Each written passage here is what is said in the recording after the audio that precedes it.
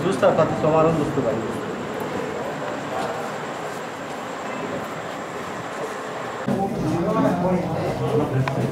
ఇప్పుడు పోతలేడు అడే college skill అయితే ఇట్లేడట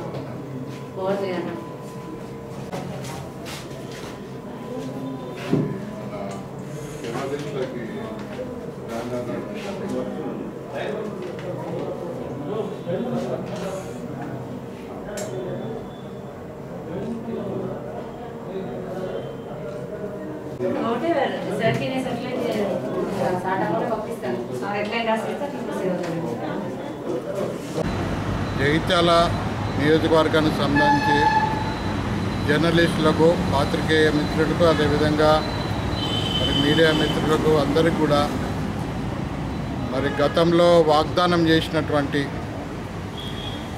ఇళ్ళ స్థలాల విషయమై మరి చాలా ఇప్పటికే జాప్యం జరిగింది. దాని విషయమై కలెక్టర్ గారికి మేము ఒక వాటిని తొందరగా ఇవ్వాలని చెప్పి మేము వారికి ఒక వినతి పత్రం ఇవ్వడం జరిగింది. మరి ప్రభుత్వానికి అదేవిధంగా ప్రజలకు మధ్య వారధిగా ఉన్నటువంటి జర్నలిస్టులు ఏదైతే ప్రభుత్వం అందిస్తున్నటువంటి అనేక పథకాలు సంక్షేమ పథకాల విషయంలో మరి వాటిని ప్రజల వద్దకు పోవాలంటే మరి అది జర్నలిస్టుల ద్వారానే సాధ్యమవుతూ ఉంది. అదేవిధంగా ప్రజా సమస్యల విషయంలో కూడా వాటిని ప్రభుత్వం దృష్టికి పోయి పోయే వరకు కూడా ప్రజా సమస్యలను తీసుకెళ్ళగలిగేటువంటి ఒక మరి వారధి లాంటి యొక్క జర్నలిస్టులు అదేవిధంగా తెలంగాణ ఉద్యమంలో వాళ్ళు పేరుకనటువంటి పోరాటం చేశారు. మన అందరం చూసాం తెలంగాణ ఈరోజు సాధించడానికి కారణమైన వాళ్ళలో మరి జర్నలిస్టులు కూడా ముఖ్యమైన భూమిక పోషించినటువంటి పరిస్థితి మనం చూసాం మరి జర్నలిస్టులు వాళ్ళ కుటుంబాలను వదిలి అనేక రోజులు మరి ఈ ఉద్యమాలలో పార్టిసిపేట్ చేశారు. లాఠీ చార్జీలు కూడా లాఠీ దెబ్బలు తిన్నటువంటి పరిస్థితి మనం చూసాం.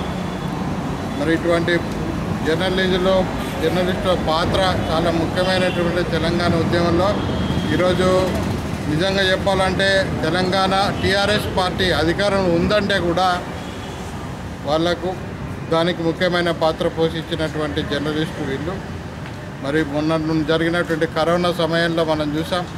కోవిడ్ నైన్టీన్ ఉన్నటువంటి సమయంలో మరి బయట లాక్డౌన్ సమయంలో కూడా బయట ఎన్నో నిబంధనల నుండి ప్రజలు బయటికి వెళ్ళలేనటువంటి పరిస్థితి ఉన్నటువంటి సమయంలో కూడా మరి వాళ్ళ యొక్క అనేక సమాచారాన్ని ప్రభుత్వానికి ప్రజలకు అందజేసినటువంటి జర్నలిస్టులు.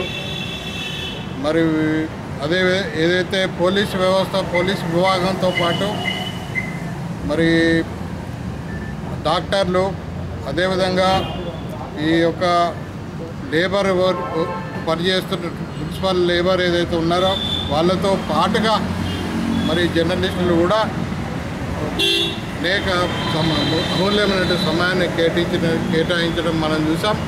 కాబట్టి వాళ్ళకు అన్యాయం చే ఏదైతే వాళ్ళకు వాగ్దానం చేసినటువంటి గతంలో మరి టీఆర్ఎస్ ఒక కార్యాలయం కార్యాలయం జగిత్యాల అసెంబ్లీకి సంబంధించిన కార్యాలయం ఓపెనింగ్ సమయంలో మరి జర్నలిస్టులు అందరూ కూడా వారు అడిగిన దానికి సమాధానంగా అటు కొప్పులేశ్వర్ మంత్రి గారు అదేవిధంగా మన స్థానిక ఎమ్మెల్యే సంజయ్ కుమార్ గారు మరి వాళ్ళకు వాగ్దానం చేసారు కానీ చాలా సమయం అయింది మరి ఫైల్ ఏమో కలెక్టర్ గారి దగ్గర ఉంది. ఇప్పటి వరకు దాని కదలిక లేదు. కనీసం వాగ్దానం చేసిన గత వాగ్దానం చేసిన విధంగా వాళ్ళకు మరి తొందరగా వీలైనంత తొందరగా దాదాపు నూట అరవై మంది బెనిఫిషరీస్ ఏదైతే అర్హులు ఉన్నారో వాళ్ళకు నూట అరవై మంది ఉన్నారని చెప్తా ఉన్నారు. వాళ్ళందరూ కూడా వెంటనే స్థలాలు నర్సింగ నరసింగపూర్ శివార్లో మరి డబుల్ బెడ్రూమ్ ఇంటి కడుతున్నటువంటి దాని పక్కన స్థలం కేటాయించడం జరిగింది. వాళ్ళకు వెంటనే అలాట్ చేయాలని మేము డిమాండ్ చేస్తూ మేము ఆ విధంగా ఇవ్వడం కోసమని మరి కలెక్టర్ గారికి విన్నపం విన్నపించుకోవడం కోసం ఈరోజు వినతి పత్రం కూడా జరిగింది. వారు కూడా దానికి అనుకూలంగా స్పందించడం జరిగింది.